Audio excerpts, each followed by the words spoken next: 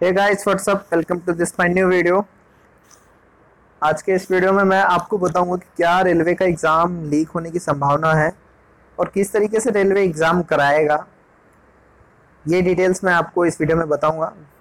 Video शुरू करने से पहले मैं आपको बोल दूँ कि ये एक न्यूज़पेपर के द्वारा बताया गया है। जो भी इसमें इंफॉर्मेशन है, वो एक न्यूज़पेपर के द्वारा दी गई है। तो आप इसको थोड़ा सा ध्यान से समझे कि इसमें बोला क्या जा रहा है। इसमें बोला जा रहा है कि लीक का सवाल ही नहीं होता। रेलवे एग्ज़ाम में सबको मिलेंगे अलग अलग क्वेश्चंस। मतलब हर एक कैंडिडेट के अलग अलग प्रश्न होंगे और रेलवे ने एक बहुत बड़ा क्वेश्चन बैंक तैयार किया हुआ है। और वो क्वेश्चन बैंक रैंडमली हर कैंडिडेट के जो रजिस्ट्रेशन नंबर होता है या फिर जो रोल नंबर होता है, उसके हिसाब से वो ऑटोमेटिकली रैंडमली चूज़ करेगा। एक पैटर्न सबमिट किया जाएगा सॉफ्टवेयर में कि इतने प्रश्न एक कैंडिडेट को मिलने चाहिए। और इस प्रश्न को बनाने के लिए, इस पेपर को बनाने के लिए कोई भी मैनुअली काम नहीं मैनुअली नहीं होगा। जिससे कि किसी भी आदमी का हस्तक्षेप इस एग्ज़ाम क्वेश्चन पेपर को बनाने में नहीं होगा। ऑटोमेटिकली कोई सॉफ्टवेयर है, उसमें बहुत सारे क्वेश्चन सबमिट हो चुके हैं।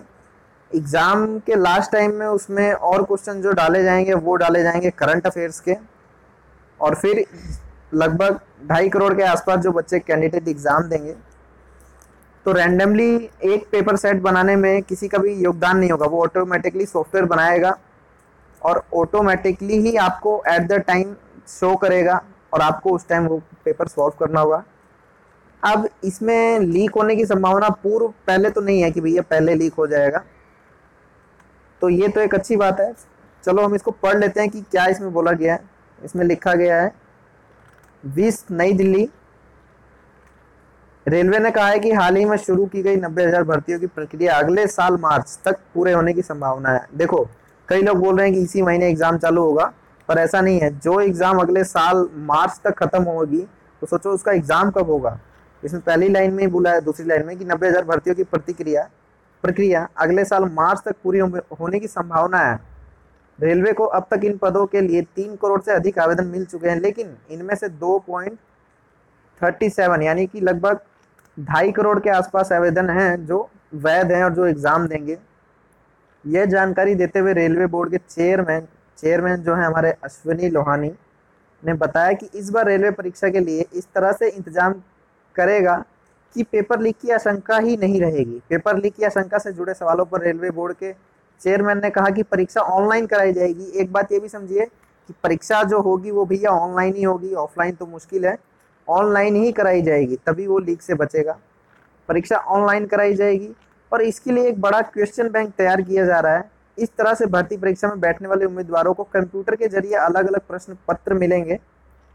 और इसी तरह से पहले से तैयार प्रश्न पत्र लीक होने का सवाल ही पैदा नहीं होता क्योंकि कनेक्शन क्वेश्चन बैंक बहुत बड़ा है। ऐसे में किसी के लिए यह संभव नहीं रहेगा कि परीक्षा में आने वाले सवालों का पूर्व अनुमान लगा पाए। रेलवे अधिकारियों के मुताबिक इन पदों के लिए एक ही परीक्षा की जाएगी। फिर प्राथमिक और फाइ, फाइनल के रूप में दो स्तरीय परीक्षा हो।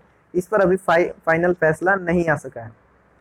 हो सकता है दोस्तों कि आपको दो एग्ज़ाम देना पड़े लेकिन इस पर अभी प्रस्ताव जारी नहीं हुआ है कि दो ही होगा। जो पहले बोला गया है उसी पे हम लोगों को राज़ी रहना है कि फ़र्स्ट एग्ज़ाम के ही द्वारा हमें निकालना है। लेकिन अगर रेलवे कुछ चेंज करता है तो शायद दो एग्ज़ाम ग्रुप डी के लिए वो ले सकता है। तो इस वीडियो में इतना ही था। दोस्तों आपको अच्छे से कुछ बताना है कि रेलवे का एग्ज़ाम ऑनलाइन होगा। लीक होने की संभावना तो नहीं है, लेकिन इस न्यूज़ के अनुसार ऐसा भी नहीं है कि लीक नहीं होगा, क्योंकि जो लॉगिन पासवर्ड और रजिस्ट्रेशन नंबर दिया जाता है, क्या वो लॉगिन पासवर्ड, रजिस्ट्रेशन नंबर बाहर किसी पर्सन को देके बाहर से सॉल्व करा लिया जाए? अभी भी बहुत सारे लूप होल हैं जो एग्ज़ाम लीक कर सकते हैं। तो देखना पड़ेगा कि क्या होता है। आशा करता हूँ वीडियो अच्छा लगा हो दोस्तों तो प्लीज़ लाइक कर देना। चैनल को सब्सक्राइब ज़रूर करना। और नीचे कमेंट खुला हुआ है कमेंट बॉक्स में अपना मैसेज ज़रूर छोड़ना, जो भी आपको कहना है, जो भी प्रतिक्रिया आपको देनी है। और मेरा वीडियो के नीचे लिंक एक ईमेल आईडी होगा, अगर किसी को पर्सनली कुछ बात करना है तो ईमेल पे वो मुझसे बात कर सकता है। जय हिंद दोस्तों।